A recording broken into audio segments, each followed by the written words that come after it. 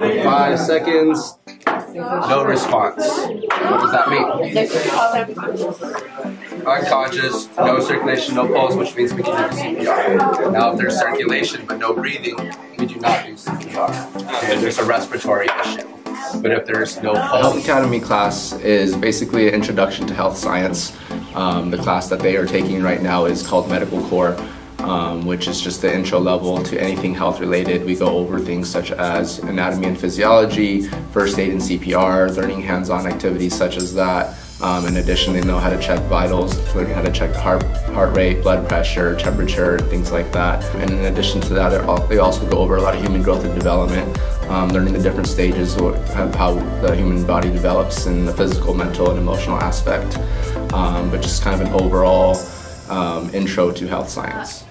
Electives like medical core really allow our students to uh, be in an environment that's interactive, to work together, to practice the social skills along with the reading and writing skills, but also again lets them explore any careers that may be interested in the future in the medical field. We want to create future scientists and future doctors and future nurses and healthcare practitioners. Um, we don't see a lot of opportunities for our kids in the area, and so bringing their interests into a classroom and allowing them to learn more and explore more about their interests that are not common every day in their community uh, is a huge plus for them. the axillary line, you follow that to the middle of the sternum. That's the point that we want to hit, okay? You're going to use the palm of your hand. You're going to interlock your other one over.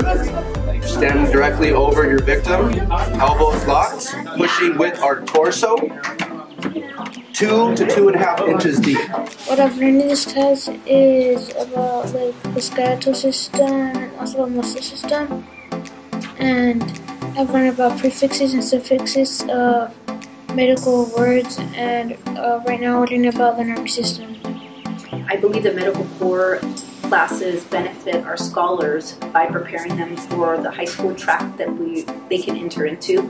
Uh, it also prepares them for future careers in that particular area of study. Um, most importantly, it helps them become more knowledgeable about themselves and people's, people around them. Uh, it really does span um, from the human body to the brain um, to all other aspects that interplay within the uh, medical field. I would encourage others to take this class because this is a really interesting class where you can learn a lot about the human body. It's a really big step towards being able to work in something serious like the medical field.